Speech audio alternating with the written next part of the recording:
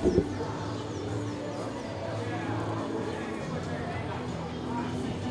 you.